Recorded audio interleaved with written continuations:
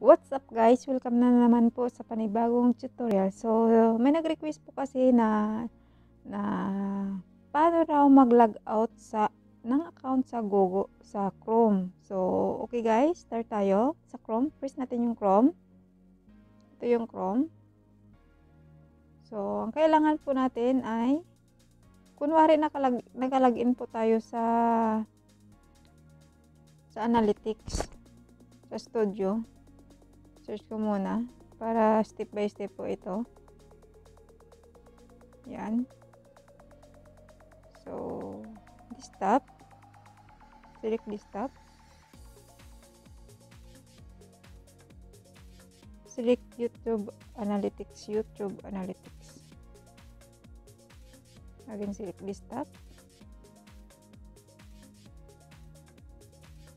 So, kunwari guys, nakalag nakalagin po tayo dito sa Google Chrome. Uh, di, uh, iyo nga pala sa Chrome. So, kailangan po natin mag-log out. So, okay dito may option din dito na log out. Ayan siya.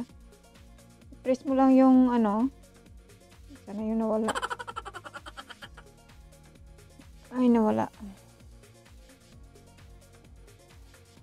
Ayan.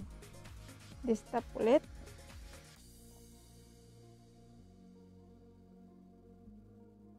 So guys, kita dito sa taas, itong account, yung ulo na to, click natin. So ayan siya may logout. So logout natin.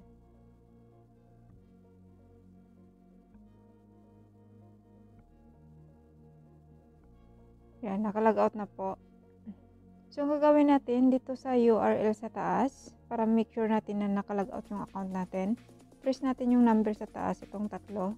URL dito sa taas sa box niya. Ibasura po natin lahat ito. Yan. Yan. Pag nabasura po natin lahat yan, balik tayo sa Chrome. Yan siya. Nakalag out na siya. Wala na yung account mo dito sa Chrome. So, yan lang guys. Thank you sa pag-request nito ng video. Uh, hopefully, may makatulong ito sa iyo. Thank you. See you on the next one.